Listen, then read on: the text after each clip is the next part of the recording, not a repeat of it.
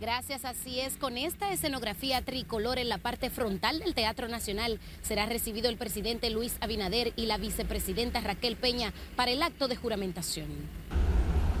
En el área custodiada y con acceso limitado se aprecian gigantes carteles, remozamiento de las aceras y reciente pintura entre las últimas adecuaciones del espacio en el que el mandatario recibirá por segunda ocasión la banda presidencial.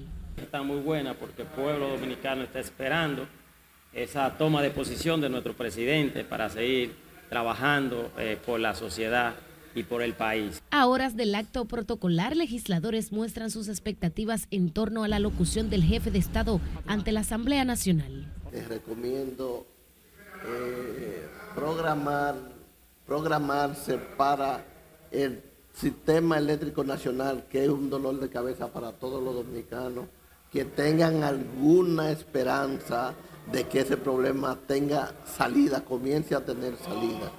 En el caso de nosotros, lo de la capital. En el caso de nosotros estamos esperanzados en que el presidente siga haciendo la obra de gobierno que hasta ahora ha ido ejecutando. Eh, mañana presentará en modo alguno algún resumen de su memoria de cómo, cómo han ido las cosas y hará propuestas de hacia dónde nos encaminamos en los próximos cuatro años. Por igual, en la explanada del Congreso Nacional, este jueves se trabaja en el montaje del escenario en el que los diputados y senadores dejarán iniciada la legislatura este 16 de agosto. Lo que refleja la armonía que hay en las dos alas del Congreso, nunca se había hecho, ahora se puede ver, se puede palpar que hay armonía en, en ambas cámaras y conviene en sentido general esa armonía porque las cosas eh, se pudiesen obtener con mayor celeridad.